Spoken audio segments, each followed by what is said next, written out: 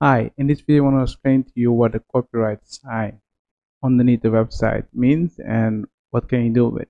So let's begin.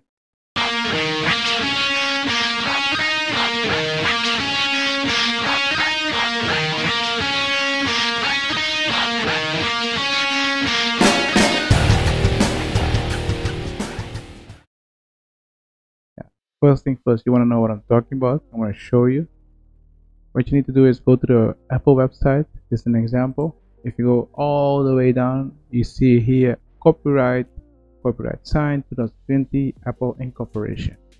So what does it mean?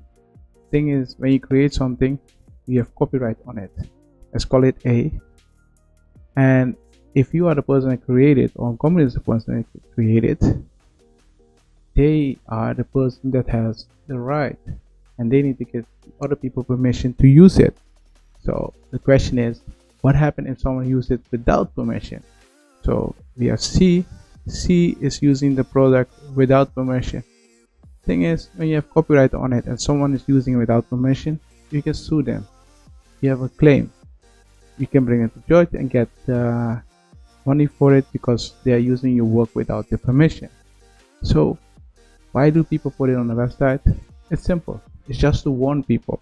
It's just to tell people, hey, I'm the copyright holder of this product. I'm the copyright holder of this um, of this website.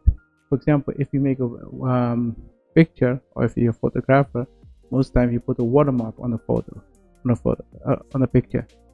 That way, you're showing people that you are the copyright holder. So when you look at the website and you see a copyright in the footer, you see what the copyright is in this case the website and who the holder is in this case is uh, apple incorporation if you use their content without their permission they can sue you.